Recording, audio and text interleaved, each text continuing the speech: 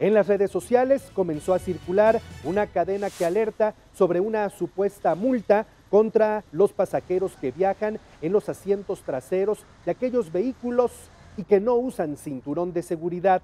La medida entraría en vigor a partir de este mes, pero fíjese que este mensaje es falso. La Secretaría de Seguridad Pública y Tránsito ha desmentido este mensaje, así que no se deje sorprender por estas noticias falsas que se emiten a través de cadenas en redes sociales.